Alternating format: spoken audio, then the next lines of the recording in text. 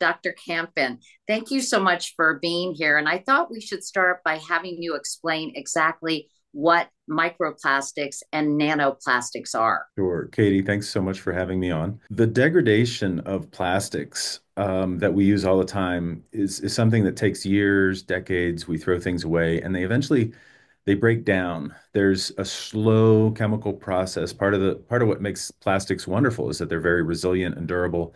We can use them for a long time, but eventually they they break and they they they become shards and those shards get smaller and smaller. So when we say microplastics, we're using the the uh, metric scale. So if you think of centimeter, we get down to micrometers, which is really too small to be seen by the human eye, but even smaller than that is nanometers.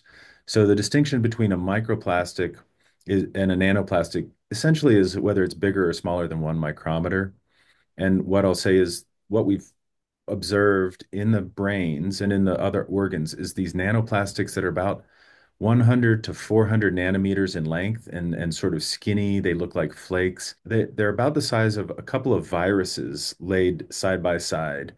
So it gives you the idea of scale. They're they're very, very tiny and, and definitely throughout the body.